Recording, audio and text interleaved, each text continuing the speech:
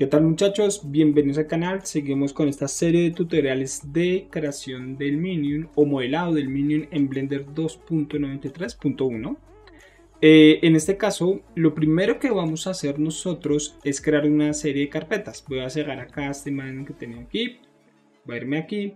Y acá en cursos de YouTube, exactamente yo tengo una carpeta creada llamada Minion Blender 2.93.1, ¿cierto? Ustedes le pueden poner el nombre que ustedes quieran Específicamente, específicamente en esta carpeta le creé otra carpeta de modelado que está vacía, referencias, las cuales están todas las imágenes de referencia que vamos a utilizar en esta serie de tutoriales, ¿cierto? Aquí están.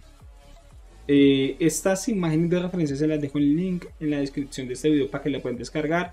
Otra carpeta que me Substance Painter, la cual no contiene todavía nada. Y también otra carpeta texturas, la cual tampoco contiene absolutamente nada. Listo, una vez hecho esto, esta carpeta, lo vamos a ir a Blender. Aquí ya tenemos Blender, voy a eliminar absolutamente todo y vamos a comenzar. ¿Listo? ¿Qué es importante tener en cuenta?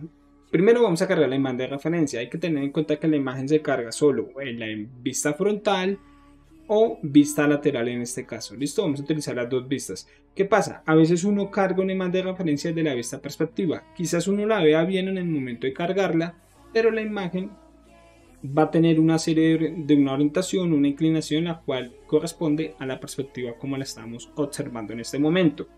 Explico, vale Shift A, Image, Reference, y me voy a buscar acá, cursos de YouTube, Minion, Referencias, aquí tengo mi imagen de referencia. Quizás yo la vea desde esta perspectiva como la estoy observando, se ve muy bien, parece que estuviera completamente horizontal, vertical y sin ninguna inclinación. Pero si yo muevo la vista o me paso a la vista frontal o lateral, vamos a ver que estamos encontrando una inclinación que no es óptima, así no se maneja una imagen de referencia para eh, hacer el modelado como tal basado en la imagen. Entonces, ¿qué tenemos que hacer? Pasarnos a la vista frontal o lateral. Entonces yo le doy la tecla 1, el teclado numérico, y lo que le va a dar Shift A Image Reference 6 y la cargo, ¿listo? Esta es una forma de cargar la imagen de referencia. La otra también es yéndonos a buscar directamente, a ver, Minion, referencias, acá la tengo. Lo que puedo hacer también es tomar la imagen de referencia donde tengo la carpeta o donde está ubicada en la carpeta y la arrastro y la suelto.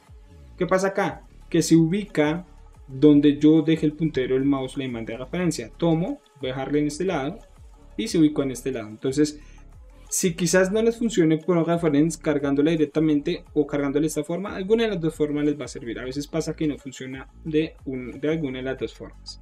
Ahora, vale, Shift A image, me voy acá, image, reference, porque va a cargar la imagen de referencia, y permítame un segundo, creo que la suprimí directamente acá, la control Z, aquí está, listo, cancelar, shift A, image, reference, que la tengo, y lo listo, ya tenemos la imagen de referencia, que es importante recalcar, que cuando nosotros nos paramos sobre un borde de la imagen de referencia nos va a salir este tipo de marco que significa que yo puedo escalar mi imagen de referencia. ¿qué pasa? que si yo me paro a ver, volví a darle control Z, demasiado control Z. Si yo me paro sobre una imagen de referencia en esta esquina o en esta esquina la estoy escalando sobre esa proporción hacia ese costado. ¿qué significa? que se va a escalar hacia ese lado. O sea, va a ganar hacia ese lado la escala. Entonces es importante tener en cuenta eso también claramente la podemos mover dándole clic acá en el medio, la podemos ubicar en cualquier parte. ¿Listo? Nuevamente vuelvo y la cargo y la tengo acá. ¿Listo? Ahora, puedo moverla claramente con la tecla Move dándole la tecla G o recuerden que nuestro Quick Favorite lo tenemos acá, entonces mover y la vamos a empezar a mover. ¿Qué es lo primero que tener en cuenta? Esta imagen de referencia es completamente simétrica. Necesitamos que nuestro personaje, en este caso, darle clic acá y acá y acá, va a poner un color quizás distinto. Este. Nuestro personaje es completamente simétrico. Entonces, es importante que en este eje que tenemos acá, que es el eje Z, esté esta imagen como tal, este pedazo, ¿listo? Para tenerlo acá. Entonces vamos a moverlo. Entonces, la tomé aquí. Voy a ubicar, voy a buscar. Miren que yo me estoy basando en este caso, en este punto del pivote, que es el eje 00, ¿cierto? Antes de eso, me paso a la vista perspectiva y en el eje Y la mando hacia atrás. Mando la imagen hacia atrás porque todo lo que yo vaya creando aquí, pues no quiero que sea, digamos que se interponga la imagen de referencia. Entonces subo, voy a bajar un poquito esto acá. Voy a buscar el eje eh, central, por lo menos me estoy basando en las gafas. Miren, acá en las gafitas del personaje. Ahí es el eje central prácticamente lo subo sobre este eje, el eje X, más o menos que los zapaticos le den ahí, donde está el pivote acá prácticamente. Esta es una, aquí ya lo tenemos. Ahora lo que yo debo hacer es darle Shift D para duplicar, la duplico y clic derecho para soltar en la misma ubicación la imagen de referencia. La muevo. Voy a darme a rotar aquí, voy a darle la tecla N para habilitar el menú. Miren, de acá y de rotación sería en este caso Z. Entonces miren que acá sale Z. Voy a darle Z 90 grados. Enter. Y ya queda. ¿Por qué esta? Porque ya tenemos la imagen frontal. Que es esta de aquí, ¿cierto? No se fíen en esta. Y si le doy la tecla 3 pasa a la vista lateral. Que vendría siendo esta que tenemos acá. Entonces voy a centrar un poquito más el personaje. Más o menos aquí que quede como esta zona acá media.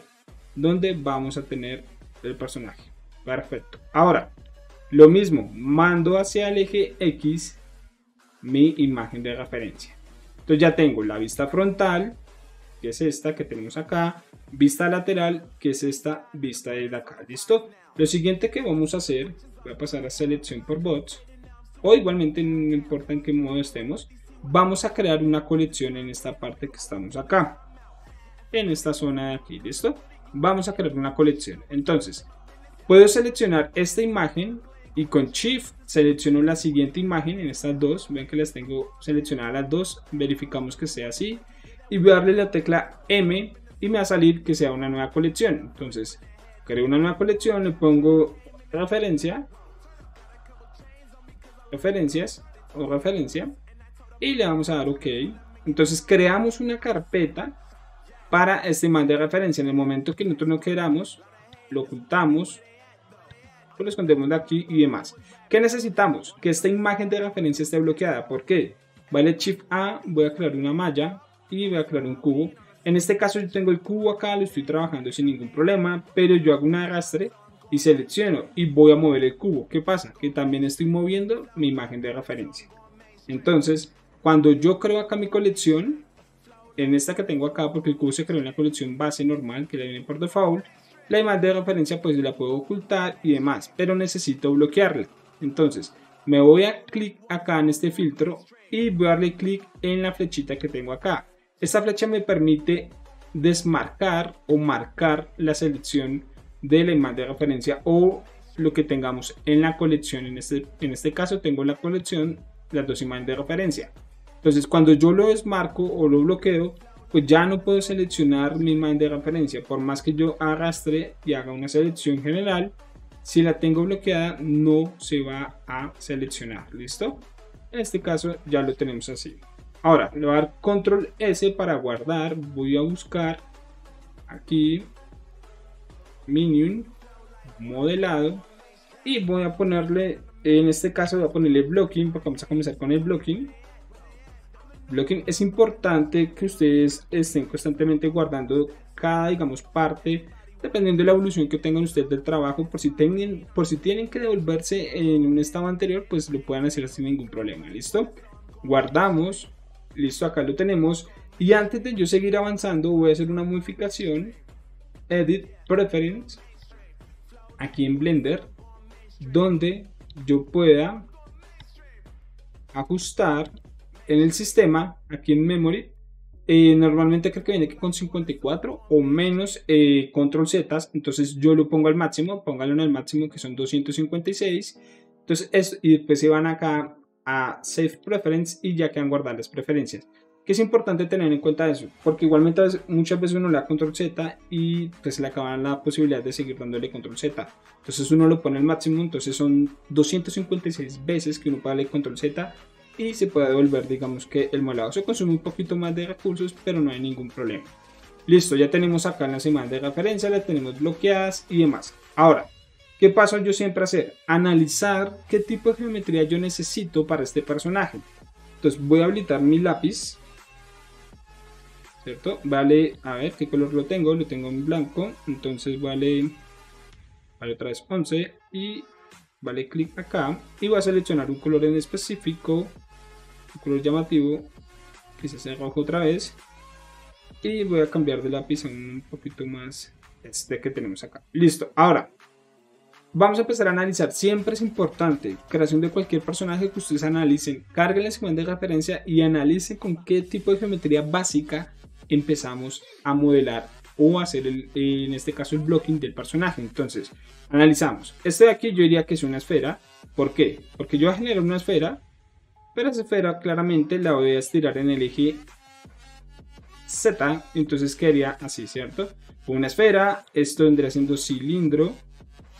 Cilindro, estamos viendo, es como la parte básica de, de la geometría en cuanto al personaje, ¿no? Cilindro, esto sería también, esto quizás sea acá también un cilindro. La mano sería un cuadrado, la base de la mano, ¿cierto? O sea, esta zona de aquí, un cuadrado. Será cilindro, cilindro. Si lo vemos desde acá también cilindro, cilindro y cilindro. ¿Listo? Cilindro aquí y el zapatico o el pie sería cuadrado. Claramente esto lo hacemos aparte por la topología, o sea, el pantalón esto lo hacemos con cilindro, se nota bastante. Cilindro y esto claramente un cilindro. Entonces ya teniendo en cuenta esa parte de, de qué geometría básica vamos a empezar a hacer, entonces comenzamos. Entonces voy a darle, voy a quitar el lápiz. Verifico que esté mi pivote en el eje 00, vale Shift A, Mesh y voy a cargar un cilindro. Eh, perdón, era una esfera, no un cilindro, una esfera. Y le vamos a dar por default, vale 1 voy a tomar mi esfera. Si me permite. Vamos a ver que la esfera se creó en la colección de referencias y como la tenemos bloqueada pues molesta. Entonces lo que voy a hacer es desbloquear acá la esfera o la referencia como tal la, referencia. Voy a tomar la esfera y la voy a sacar entonces vean que ya cuando oculto esto la esfera ya está aquí por fuera y no hay ningún problema para poderla seleccionar. Ahora vale la tecla S para escalar escalo proporcional.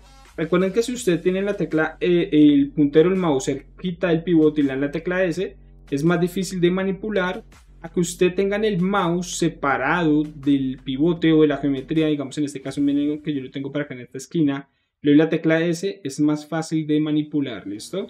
Entonces la tecla S, trato de buscar el volumen del personaje, paso a la vista 3 o lateral, lo ubico también acá y voy a darle la tecla Shift Z para modo transparencia. O también lo pueden encontrar en la parte superior de acá, modo transparencia. ¿Listo? darle Tab para pasar a modo eh, de edición. Al Z para modo transparencia. Porque recuerden que si ustedes seleccionan algo y no lo tienen en modo transparencia, en este caso acá, si yo lo selecciono de esta forma, solo selecciona lo que estoy observando en el viewport. ¿Listo?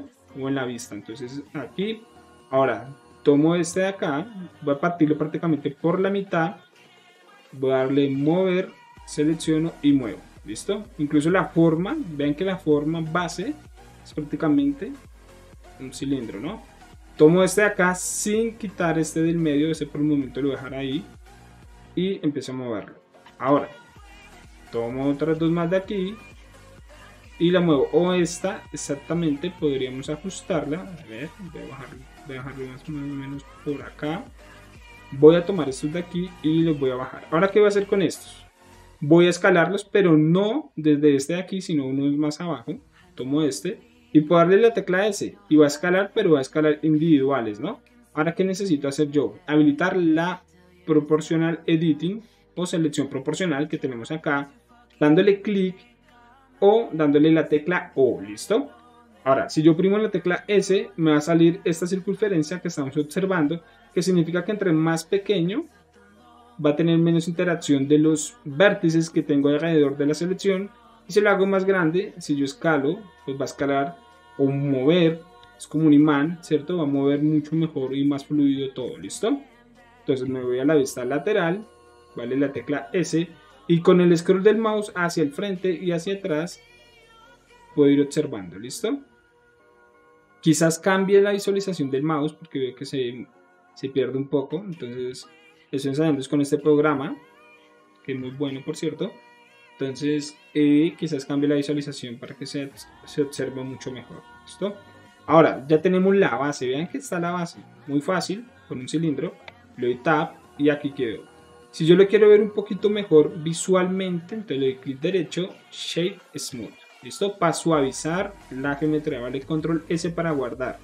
Verifiquen que siempre esté en el eje 0, está completamente simétrico, ¿listo?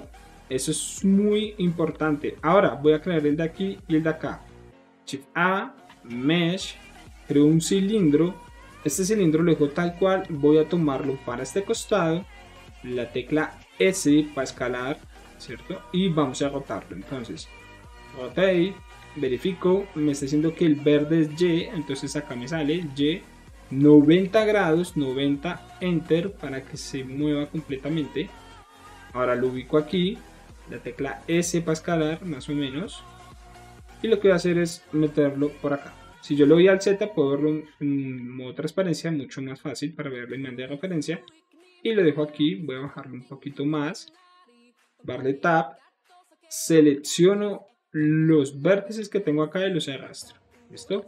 Eh, hay que tener cuidado, miren lo que me está pasando, a pesar de que selecciono solo estos, se está moviendo toda la geometría. Eso es por el proporcional o eh, proporcional editing, ¿cierto? O selección proporcional. Ahora, con la tecla O lo deshabilito y puedo mandar este para acá. No importa que se meta por acá, por dentro, lo importante sí es que haya, haya contacto de geometría completa, ¿listo? porque después tenemos que fusionar todo esto en una sola geometría, una sola malla.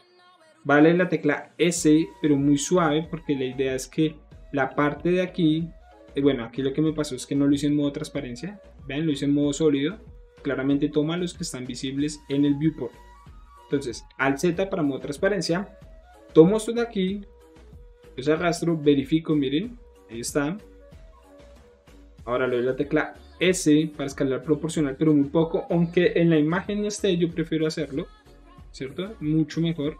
Y aquí vamos a ver que coincide, voy a tomarlo todo con la tecla A, tomo toda la selección y lo muevo que quede completamente ubicado donde es, ¿listo?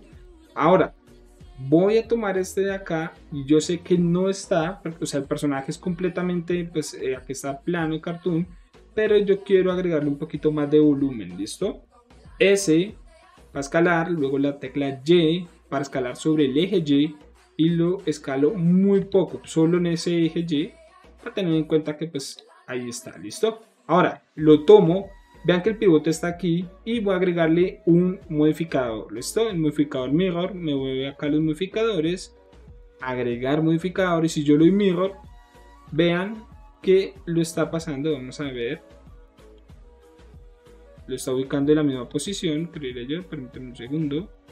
Aquí está, sí está en la misma posición, por lo que no he, digamos que no le he hecho un free transformation a la geometría y el pivote pues claramente se encuentra acá y la idea es que el pivote cuando hagamos un mirror se encuentre también en el eje 0, 0. Entonces voy a quitar esto y si yo le doy control A me va a salir este menú que me sale eh, para hacer, digamos que una transformation oficial o digamos que poner los valores en 0 y en 1 de mi geometría la que tengo seleccionada. En este caso, si ustedes pueden observar acá, dice que la locación es la ubicación en la que movimos esto, la rotación está aquí, la escala, este es el valor de escala, dimensiones no estamos, eh, digamos que no necesitamos por el momento las dimensiones, entonces no hay ningún problema, ¿listo?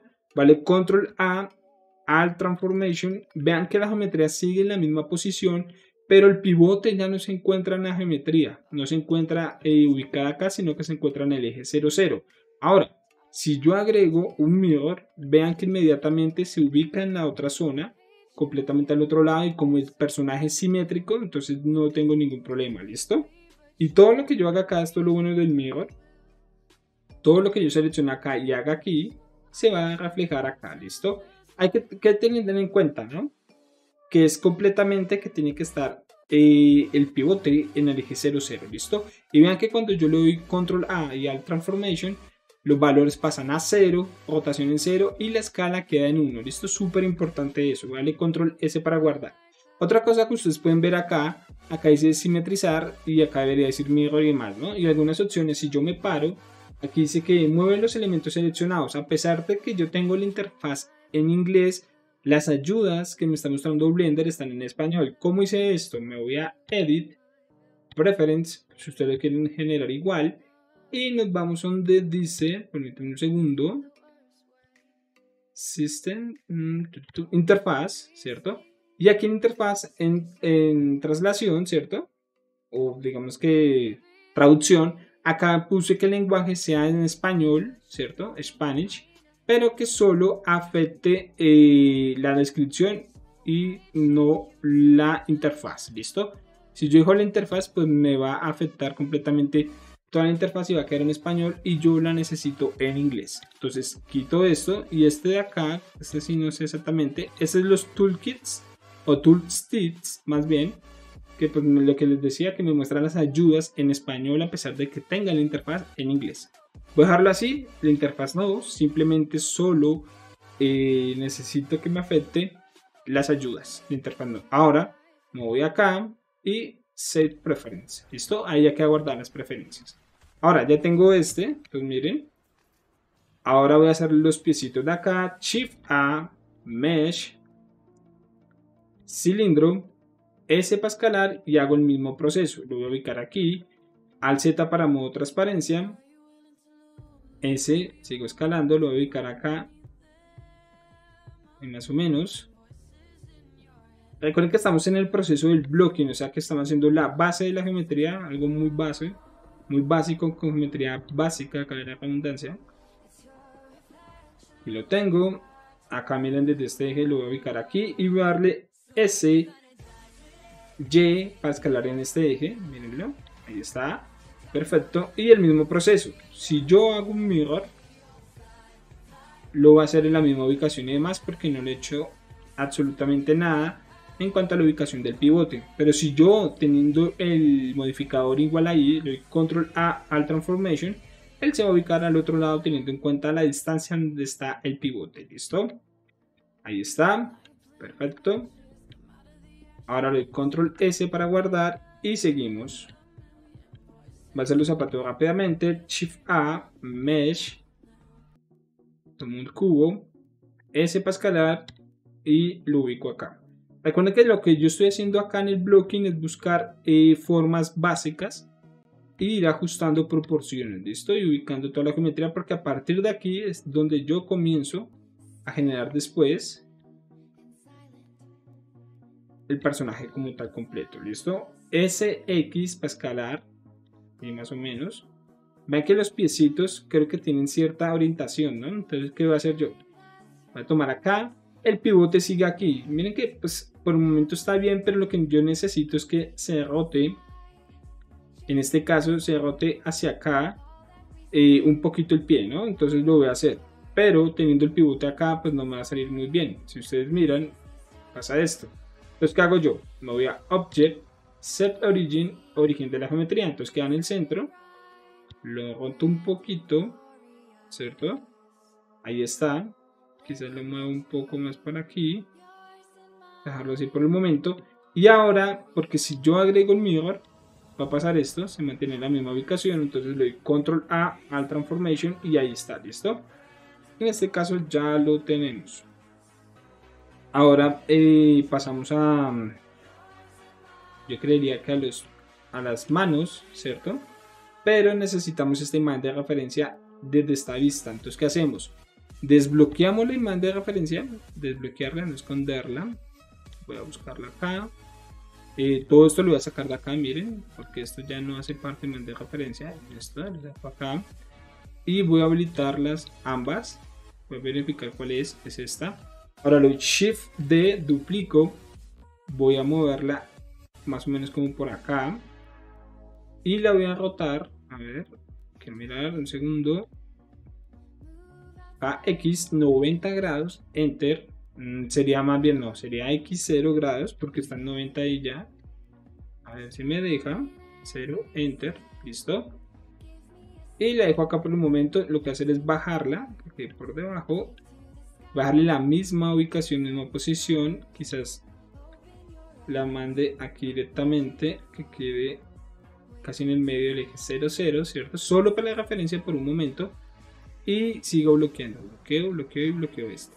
¿Listo? Control S para guardar.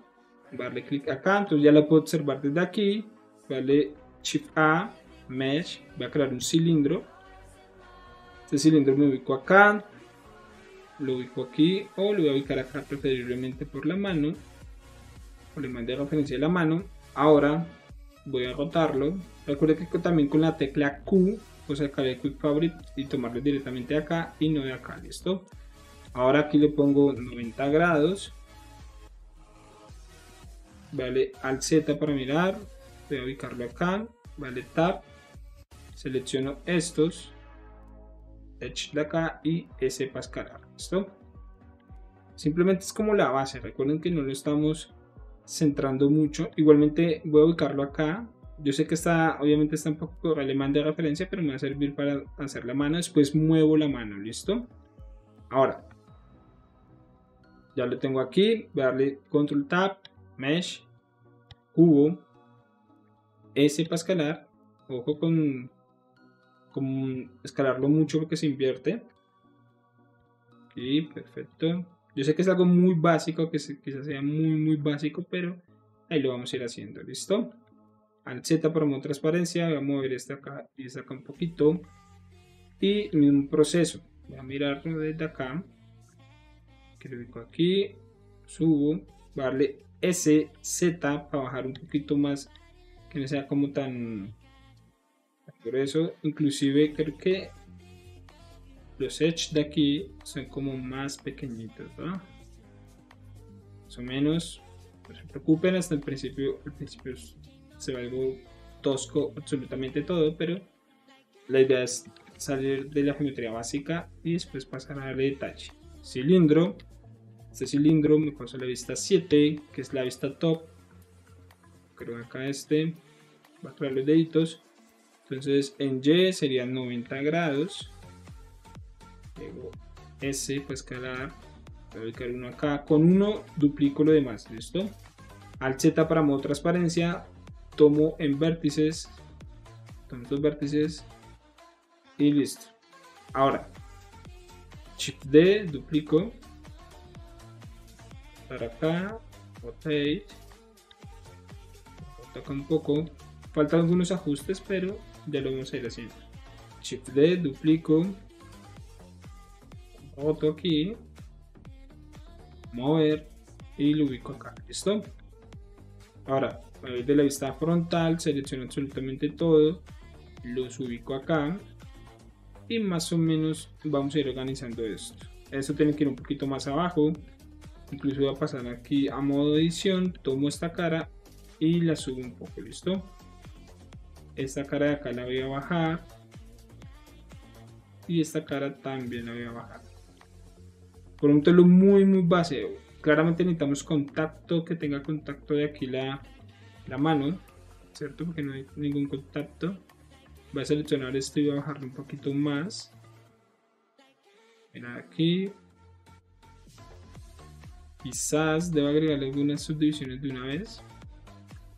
para ayudarme con la forma. voy a tomar acá, darle la E para extruir, extruyo. No importa que se pase la geometría.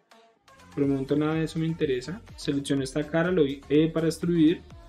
Después se dan cuenta que a partir de esta geometría que no tiene como mucha forma sale algo muy bueno. E para extruir, listo. Acá tengo lo súper básico. Formas. Ahora quiero darle como esa inclinación que tiene, ¿no? Los deditos, la curva que tiene en cuanto, en cuanto a las articulaciones. Entonces, control R. Creo que este personaje, no sé, no lo veo muy bien, pero creo que tiene solo una articulación. Entonces lo hacemos así. Paso acá, le doy control R. Lo creo. Y acá igual, ¿no? Control R y acá. Aquí diría así y así. Más o menos. Algo como un poquito exagerado, ¿no? Incluso vale ese para escalar, vean que es como en bombaditos en el medio, o sea, infladitos. Aquí y este, a ver, modo transparencia. Pues yo creo que este es mucho más pequeño acá, entonces voy a moverlo de aquí. Voy a tomar los vértices. Vamos acá, voy a escalar un poquito. Como dándole forma de a poco. No es lo definitivo, pero ahí vamos. Este también, este yo creo que es un poquito más pequeño. Solo un poco. Ahí podemos dejarlo. Voy a tomar estos de acá, estos Edge. Hasta acá, le doy la tecla S para escalar y ahí lo tenemos. ¿Listo, muchachos? Control S para guardar. Ahora, ¿qué voy a hacer yo? Voy a tomar absolutamente todo. Este, no me, este sí no me gusta. Este como se ve acá no me gusta. Vamos a darle un poquito más de forma esto, ¿listo? Tab, modo edición, control R para agregar un loot. Recuerden que si está en amarillo significa que puedo con el scroll del mouse hacia adelante y hacia atrás agregar subdivisiones, ¿listo? La cantidad de subdivisiones que yo quiera agregar. En este caso dejarlo con 1. Si le doy clic me va a salir esta flecha y el loot va a tornarse de un tono naranja, que significa que puedo mover el loot hacia el costado que yo quiera, ¿listo? Y cuando le doy clic nuevamente otra vez, ya me sale el pivote que significa que ya está hecha la última opción o acción y que ya no puedo digamos modificarlo sin alterar la forma de la geometría, ¿vale? Mm, voy a agregar aquí unos dos simplemente como para darle la curva que necesito y listo, ahí lo tenemos. Algo básico, se ve un poquito raro, pero ahí está bien. Lo importante es que todo va a salir súper bien acá, listo control R, agrego otro aquí simplemente ir dándole un poquito de forma. Esto no, esto no va a afectar mucho no se preocupen. Simplemente que trato como de mirar y ayudarme con las formas listo no es más de eso. Listo. Igual todo esto lo vamos a suavizar y esto va a quedar súper bien. Ahora lo que yo voy a mirar analizar hasta aquí está bien hasta aquí está bien.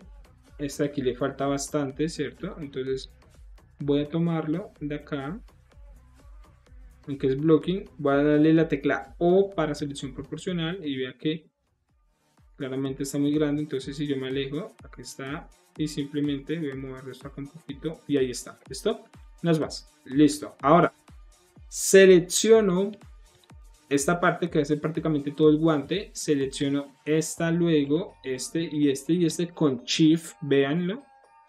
Y ahora le doy control J.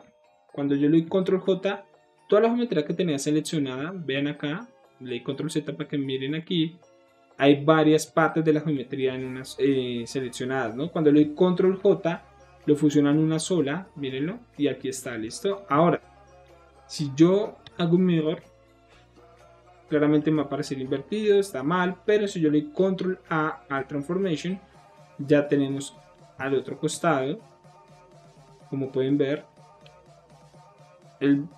la mano, ¿listo? Y de acá también, y de acá también, listo. Aquí ya está. Ahora control S y nos falta esta zona de aquí. Eso es en base al blocking, pero muy, muy básico. Mesh, cilindro, se lo tal cual. Voy a rotarlo en el eje X, entonces le pongo acá 90 grados Recuerden que este menú lo saco con la tecla N o también dándole clic en esta flechita que tengo acá.